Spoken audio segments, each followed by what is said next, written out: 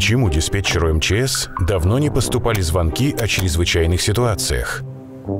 Потому что вы внимательны при занятиях экстремальным спортом и во время отдыха на природе. Вы соблюдаете пожарную безопасность на даче и дома. И, конечно, разводите костер в отведенном для этого месте. Помощь спасателей не требуется, если вы соблюдаете технику безопасности.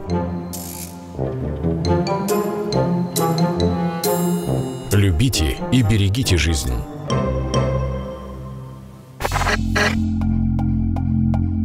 23 ноября огнеборцы тушили частный дом в селе Костромское. Сигнал о возгорании на улице усадьбы совхоза поступил диспетчеру в 15.05.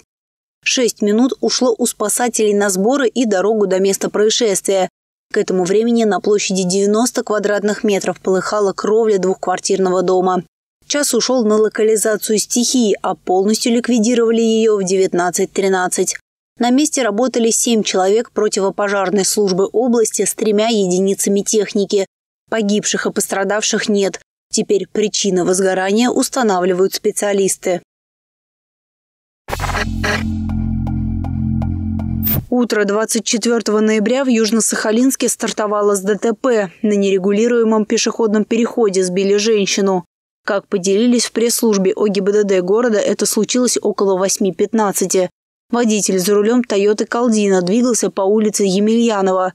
На перекрестке у дома номер 235 по проспекту Мира он не уступил дорогу женщине, которая переходила дорогу по зебре.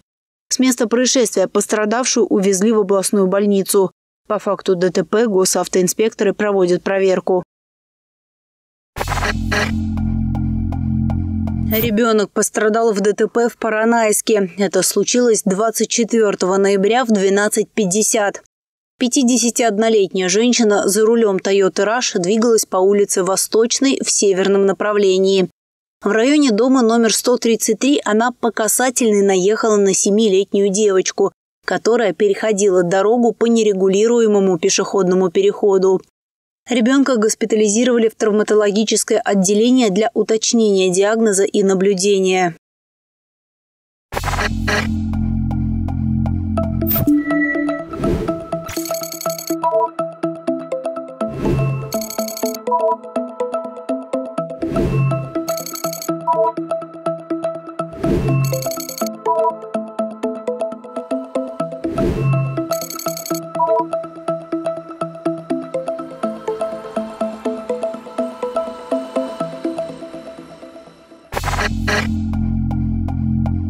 Пенсионер перевел мошенникам около 7 миллионов рублей. 66-летнему южно-сахалинцу позвонил неизвестный и представился сотрудником банка.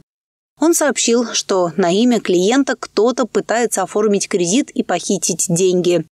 По инструкции лжеспециалиста потерпевший обналичил сбережения и продал свой автомобиль. Получившиеся 3,5 миллиона рублей он отправил на продиктованные аферистом номера. Далее злоумышленник убедил жертву оформить несколько крупных займов в сумме еще почти на 3,5 миллиона рублей.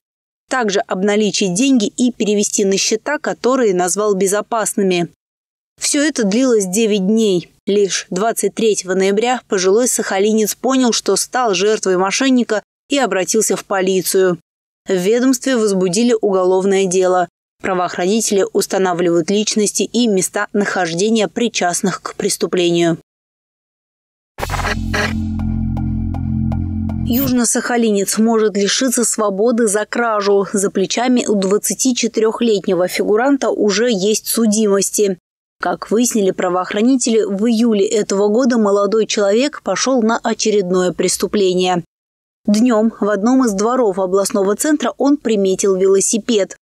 Транспортное средство стояло у входа в подъезд без противоугонного троса. Мужчина убедился, что за ним никто не наблюдает и похитил железного коня. Тем самым он причинил ущерб на 13 300 рублей, а в комиссионном магазине выручил за велосипед 2000. Продажу он аргументировал тем, что ему необходимы деньги на лекарства. Правоохранители задержали вора, имущество вернули законному владельцу. Расследование завершено, уголовное дело будет рассмотрено в суде. Холмчанин отправится на скамью подсудимых из-за найденного портмоне. В сентябре этого года 39-летний мужчина подобрал чужой кошелек на улице. Внутри оказались банковские карты и купюры разного номинала. Себе он оставил наличные, а остальное выбросил за ненадобностью. Правоохранители установили личность и задержали подозреваемого. К этому времени мужчина потратил деньги на личные нужды.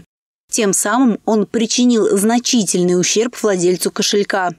Расследование уголовного дела завершено. Если вину фигуранта докажут в суде, ему грозит до пяти лет лишения свободы.